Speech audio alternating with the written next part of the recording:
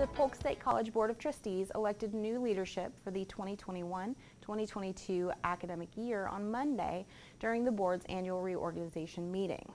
Ashley Bell Barnett was elected chairwoman of the District Board of Trustees, and Greg Littleton was elected vice chairman, according to a news release from the college. The role of chair was previously filled by Cindy Hartley Ross, and vice chair was previously filled by Barnett.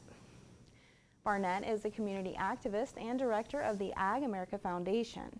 She has served on the Board of Trustees since February 2018. She is a fifth generation Floridian who previously served the Polk State Foundation Board in leadership roles including development chair, treasurer, and vice chair.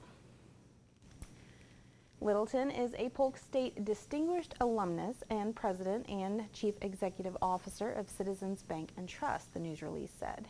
He's a Polk County native who achieved his associate's degree from Polk State in 1987 and went on to receive a bachelor's degree from Freed Hardeman University and attended the Graduate School of Banking at Louisiana State University.